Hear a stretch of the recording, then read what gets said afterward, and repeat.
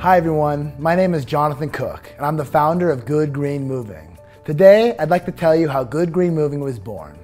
When I was 20 years old, I went on a rafting trip. When I was on the rafting trip, I was cutting up all the vegetables, loading and unloading the rafts, setting up everyone's campsites, making sure the elderly had their medicine. I just wanted to make sure everything worked out. The reason why I did this is because I've been a caregiver for my mother since I was 16 years old.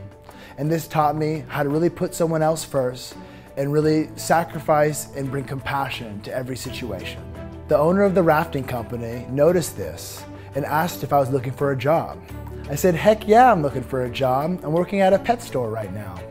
He actually hired me for his moving company. Within the first three months, I was head mover, running jobs, leading crews, and within the first year, I was representing the company in marketing. I pitched to him that I wanted to make a green option within his company, and he told me that nobody cares about this stuff, Jonathan. All anybody cares about is profit.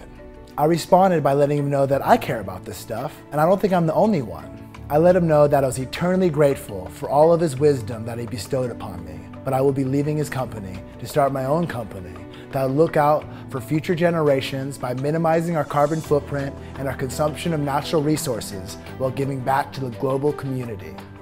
Good Green Moving was born in October 2012.